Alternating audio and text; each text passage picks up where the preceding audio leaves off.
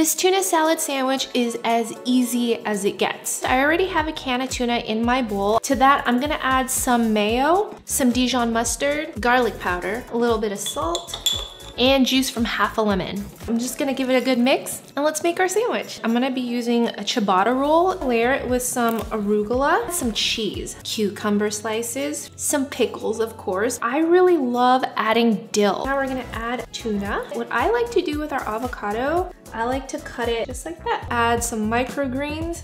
Now let's cut this baby in half. And the drink pairing for this sandwich will be a guava strawberry spritzer. If you guys have salt and vinegar, that is the way to go, but I only have salt and pepper kettle chips, which is really good too. So I'm serving it with that, some cucumber slices, more pickles, and our beautiful tuna salad sandwich.